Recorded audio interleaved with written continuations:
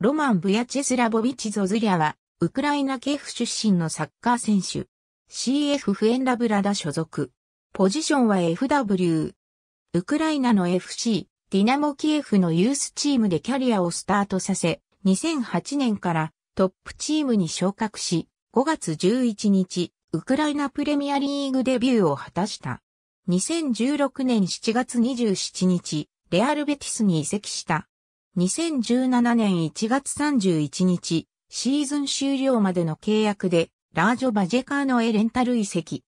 しかし、ウクライナのネオナチグループに属するシンボルが描かれた T シャツを着ていたために、サポーターからナチス共感者と疑われ、わずか1日で契約解除に追い込まれた。2017年9月8日、アルバセテバロンピエに移籍した。2020から21シーズン、クラブがプリメーラディビシオンフェフに降格したことでクラブを退団した。2021年7月31日、CF フエンラブラダと2年契約を交わした。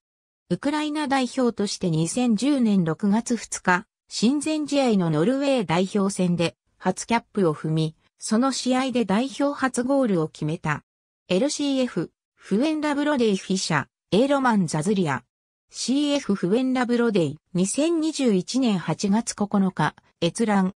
ありがとうございます。